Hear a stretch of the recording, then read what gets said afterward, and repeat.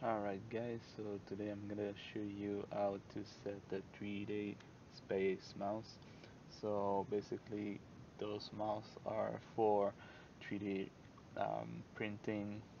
Um, but to play with that mouse on Star Citizen can be really interesting because they have like six axle. So you can rotate twist push and pull so um, that can be really interesting um, to use that device to play on Star Citizen. So I'm gonna show you a small tutorial to how to set those 3D space mouse. So you have different version, mine having 15 keys.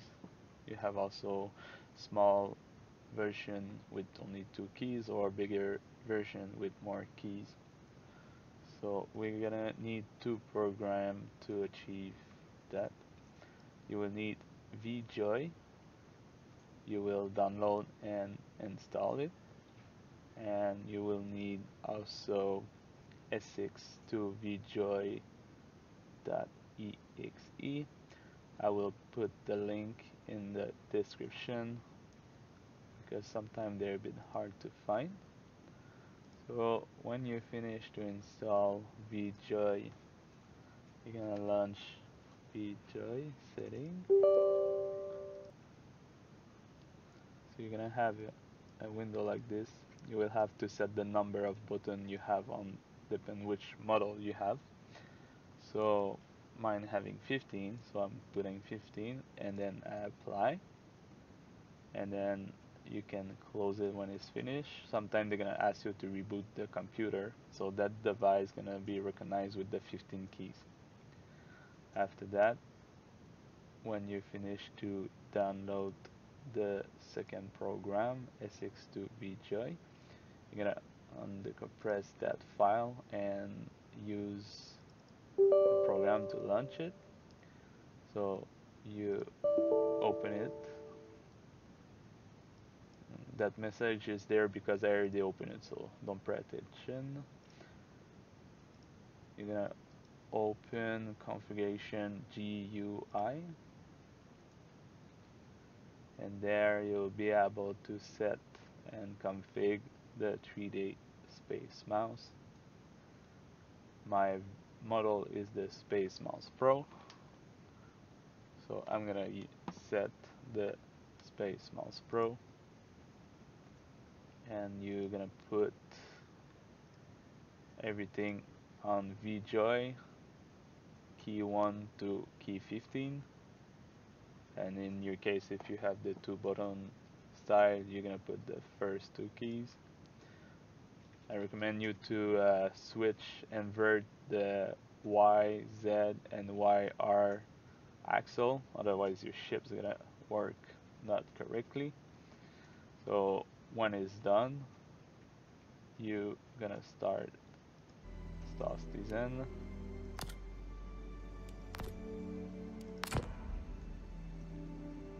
another thing is really important to do it's to go in your graphic setting and set the full screen off because you will need to start an assist program to bend the keys correctly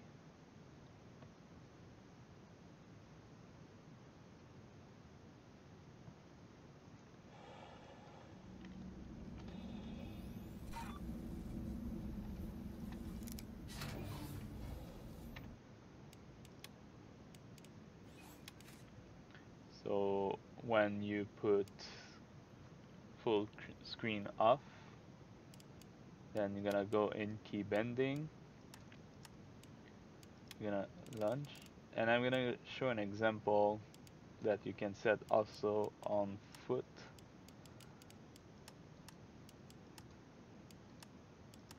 So it's really important to understand that if you try to set it by yourself it's not gonna work see. I don't touch the the mouse and my character moving by himself. I don't understand why he's doing that so I'm gonna show you how to fix the problem. So you have to press Ctrl Alt S and it's gonna show the assist box to set your axis correctly. So first thing you need to do is to choose the direction you want to set. So forward, see, you recognize it. I double click and it's gonna apply correctly to make it work properly. Same thing for left, right. So I do left. You recognize the X axle. I double click and then it's gonna set the movement. When it's assigned and you finish, you press Ctrl Alt S to turn on uh, to turn off the assist box. And then now everything's working as a joystick. So the same thing need to be done for every axle so for your ship movement uh, you have different options you can set only the strap if you want. So forward back up down and uh, left right. But you can also experiment the rotation axle if you want. So you're gonna control all your ship with only one hand so I'm gonna show you how to do it.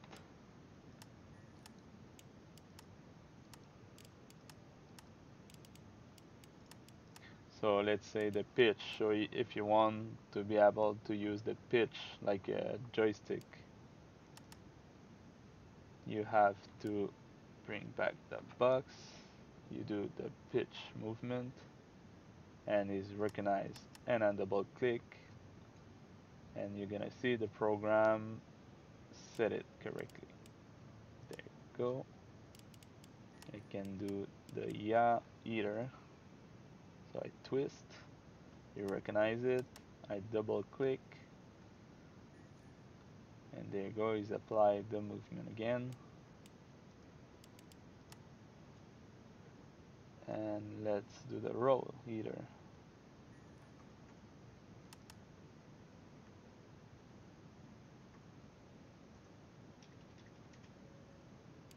There you go. So I did the same thing either for my axis. So I apply the movement of the strap. Then the assistant gonna recognize the movement and you double click and you let the assist box apply your movement. When it's finished I recommend you to remove with the mouse movement to remove them and should be okay now. Don't forget to press ctrl S to continue